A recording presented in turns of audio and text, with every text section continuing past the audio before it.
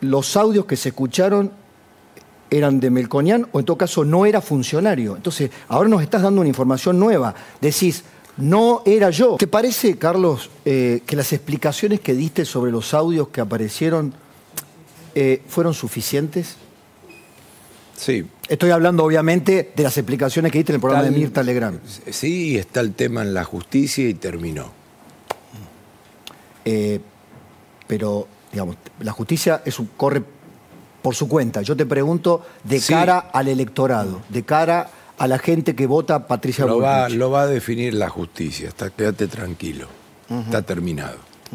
No, no está terminado, Carlos. Sí, está Vos me cerrás la respuesta así y Es que yo te quiero... eso- Mira, te lo voy a decir, no son míos esos audios. Ah, bueno, esto es lo que quería. Listo. De, de cara...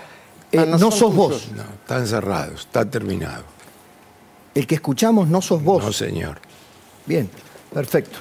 Y vas a denunciar a los que... Ya está denunciado. Ya- Pero hay una pregunta añadida porque quiero que entiendas esto.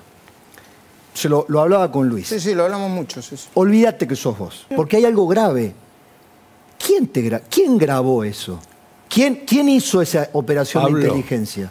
Deja que Le hable importa a la gente. Pablo, Sí. deja que hable la justicia. ¿Electoralmente no los afectó? No.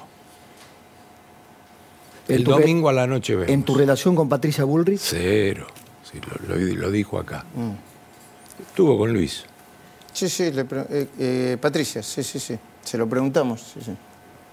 Eh, A, a mí, para, para, porque a mí me sorprende porque Horacio Rodríguez Larreta dijo hace pocas horas, eh, los audios que se escucharon eran de Melconian o en todo caso no era funcionario. Entonces, ahora nos estás dando una información nueva. Decís, no era yo. ¿Por Esos qué- audios no eran... ¿por qué no- no, por qué no haces lo siguiente? Ya que te preocupa tanto. Deja que opine la justicia. No, no. Está, no me preocupa hablar. a mí. Está Me preocupa a la denunciado. gente, digamos, hay mucha gente que Te estará estoy preguntando. contestando, pa- Por eso. Pablo. Melconian se puso muy nervioso cuando le preguntaron sobre el Melcogate y el inútil evadió por completo la pregunta, diciendo que los audios no son míos.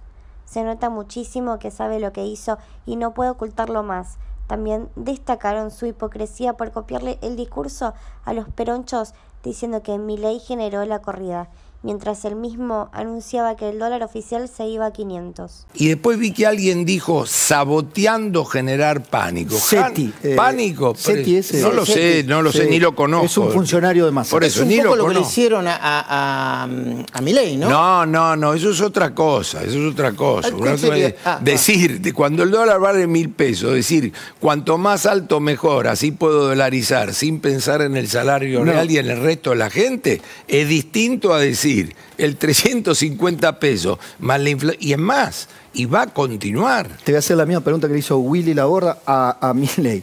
Si hoy te vence un plazo fijo en pesos, ¿lo renovás? Digamos, dependiendo de la rentabilidad que me esté dando. La tasa. Si, al- si alguien tiene un plazo fijo. eh, Hoy, hoy, con- con la que hay Si hoy. alguien tiene un plazo fijo y lo tiene vinculado a precios, lo renuevo sin problema.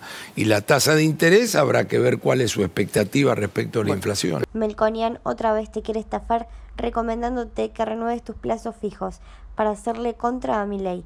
Sigue copiándole el discurso al frente de chorros. Te quieren sacar todo lo que tenés. No quieren que ahorres en moneda fuerte y confiable y quieren que cada vez seas todavía más pobre. Son lo mismo que el kirchnerismo.